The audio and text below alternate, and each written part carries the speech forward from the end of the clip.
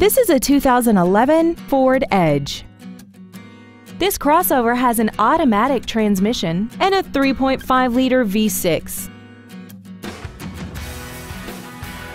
Features include a multi-link rear suspension, aluminum wheels, traction control and stability control systems, side curtain airbags, air conditioning, steering wheel mounted controls, cargo tie downs, a four-wheel independent suspension, and this vehicle has less than 72,000 miles. Contact us today to arrange your test drive.